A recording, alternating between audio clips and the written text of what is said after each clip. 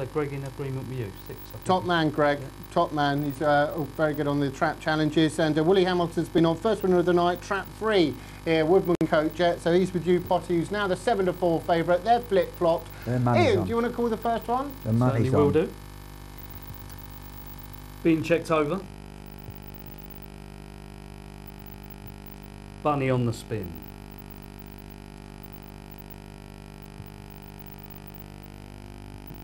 Lids up, quickly into stride is three, but also Rockburst uh, Louis are not six on the outside, showing good pace. Four and six go to the turn, but four will make the bend.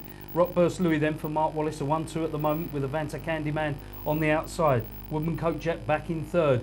Five and one out the back, down towards the third turn, and four still holding sway here. Starting to stay on again is six. It's four and six, a one two for Mark Wallace, who's going to hold sway off that final turn. It's Rockburst Louis six, putting it down. Also three getting involved, but Rockburst Louis, Woodman Coat Jet four just a picture second.